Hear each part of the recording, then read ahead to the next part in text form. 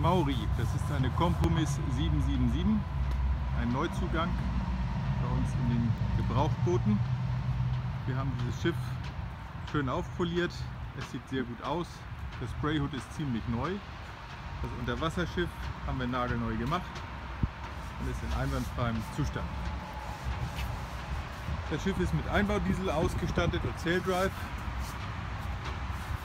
Und für Kompromiss ist die markante dicke Scheuerleiste dort, die das Schiff sehr gut schützt. Wir schauen mal in das Schiff hinein. Wir sehen hier ein sehr großzügiges Cockpit, mit Teakholz ausgestattet.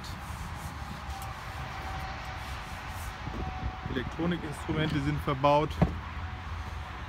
Hier ein Blick aufs Vorschiff mit den Teakholz Handläufen. Nun schauen wir mal in die Kajüte hinein.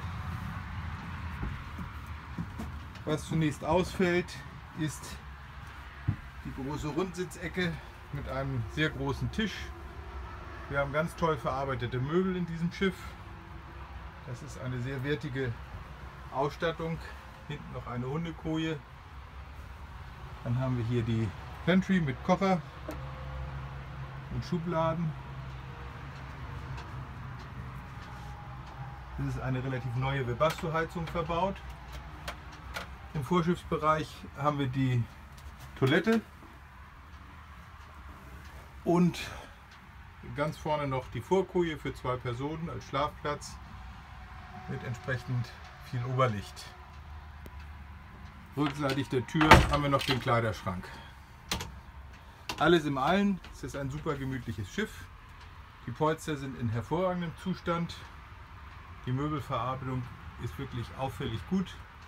Das ist auch das Markenzeichen vom Kompromiss. Sicherlich auch im Neukauf ein nicht gerade günstiges Boot.